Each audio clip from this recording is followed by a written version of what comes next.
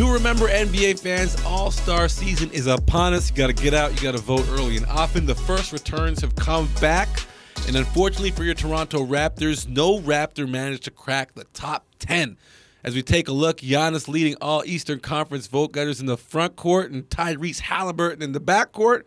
But my question hopefully a Raptor gets some recognition. Sherm, I'll start with you. Which Raptor has the most compelling case? I think it's two gentlemen that are in the, you know, the real Yeah. contenders. Yeah.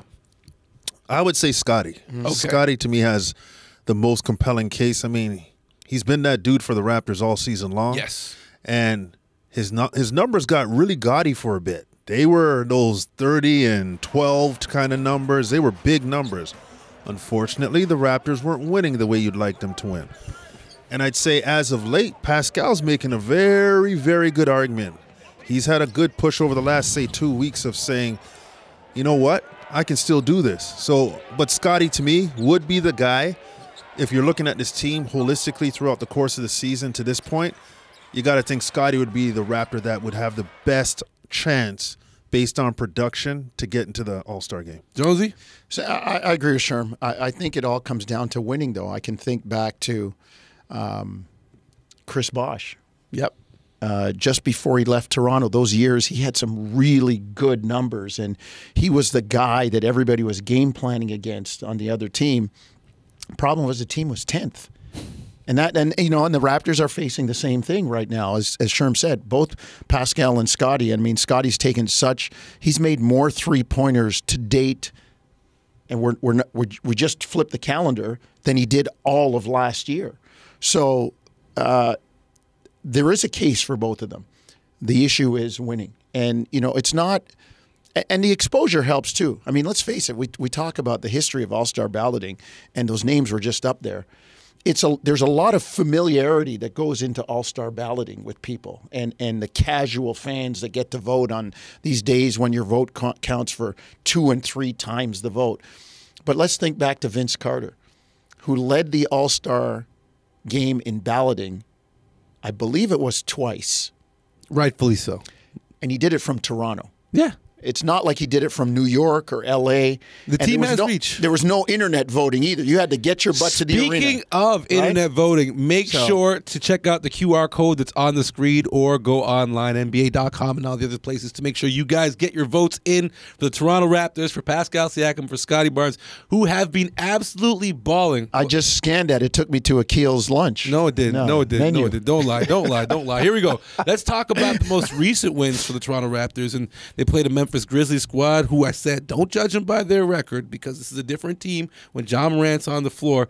But, Jonesy, the Raptors looked very impressive. Your take from that matchup. You know, this was a game that we've seen the Raptor Memphis play the way the Raptors have, right? You get down, you fight back, and your margin of error is so slim that late in the game when there's a turnover or a missed shot or there's a foul that you've you've you've taken, it just it just pushes you back even though you're climbing the hill. And you run out of juice. It was nice to see much. Toronto Yeah. playing with the lead. We always talk about playing with the lead and how important it is and how it expands your margin of error. I thought, uh, you know, th- they're they're off to terrific starts now with this this new starting unit. You can just feel there's a new energy right now. You could feel it on on January 1st when they played Cleveland. And the thing that I like, Dennis Schroeder, I thought was terrific in helping to close out the game. He's in a role that he's very familiar with. He was with. on there with Quickley. They had Yep. both point guards. Yep, he and and and you got two decision makers, and he, that's a role for Schroeder that he's very familiar with, coming off the bench.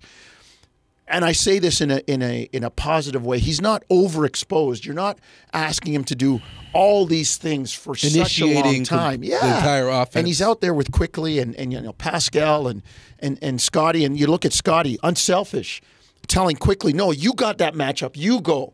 I'll get in the corner here. If there's help off the strong side, you pitch it to me. But that's you right now. I, and I just think they're working something out from a chemistry standpoint. Aside from the start, they held on at the finish, and I think there's something there to develop later on. I really liked how they finished quarters. Okay. They were excellent at finishing quarters in that game.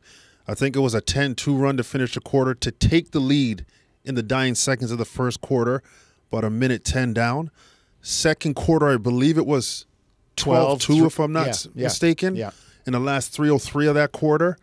Third quarter, 15 to 4 run to end the quarter.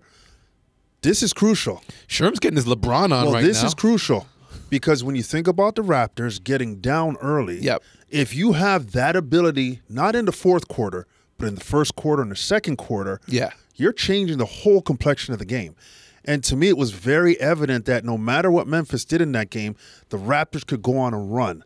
We haven't experienced that with the Raptors so far this season. They get down and they're chasing through four quarters and making it a game late in the game and usually not able to get over the hump plate. First quarter, run. Second quarter, end it with a run. Third quarter, end it with a run. You're controlling the final minutes of the quarters. That's big moving forward. Butch Carter, one of the first coaches that really directed me towards analytics and all these numbers and made my head spin, said if you win the first and the third quarter, most of the time you're going to win the game. And and Doug Collins always used to talk about that in Chicago and Washington, wherever. It's how you start and finish quarters. Well, it's working out for the Toronto Raptors. Lastly, from you, um, what did you like from Porter? I- He got quite a quite a bit of run there and, and fit in quite nicely. Did you think in, on defense and the offensive end? As well? Yeah, I, I thought that uh, defensively he did really good job uh, with verticality and protecting the rim, um, uh, and offensively he's just like in those limited minutes he was able to to get quick uh, open threes, and we know that he's knocked down and really really good three point shooter. So I'm I'm happy with his minutes over there, and uh, we're gonna continue giving him opportunity and seeing what we got there. I know this is uh, the first one out of six uh, road games. How does games like this? How does this one set the tone for the rest? Uh, obviously, it's always better to start the road trip with, with, with a win. Uh, I think it's it's going to give us a really good opportunity to watch film and to be critical on uh, some things that we need to to improve and get better at. Uh, at the same time, uh, this is a long road trip, 11 days and six games. You know, we're going to have ups and downs, but the most important thing is for this group right now is staying together and trying to play to a standard. And I, I was telling guys tonight, like, don't play the score. Like, don't look at the scoreboard and see that we're up 18 or 19, whatever. Like, we, we got to do right things. You know, if we're doing the right things over the course of 48 minutes, then we can live with the outcome. We can live with the result, but we got to play to a standard.